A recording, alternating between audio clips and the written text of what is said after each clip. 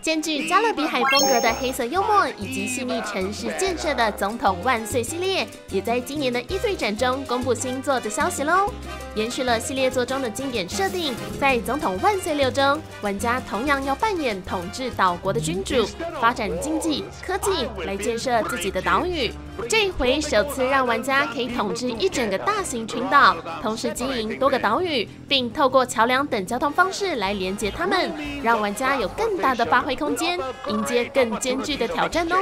而六代也带来了更多的交通方式，像是可以运载市民及观光客的计程车、巴士或是缆车等等。至于系列作中最让玩家们津津乐道的政治元素，这一次也带来更专注于政治方面的研究系统，帮助。玩家成为世界上最伟大的独裁者。另外，玩家也能够派出手下偷袭其他岛屿，掠夺包含自由女神像、埃菲尔铁塔在内的世界奇观或纪念碑。收集这些奇观，让自己的岛屿变得更加金碧辉煌吧！好好利用选举前慷慨激昂的演说来画大饼，设法赢得选战的胜利。至于那些不可能达成的承诺，就等选上之后再说喽。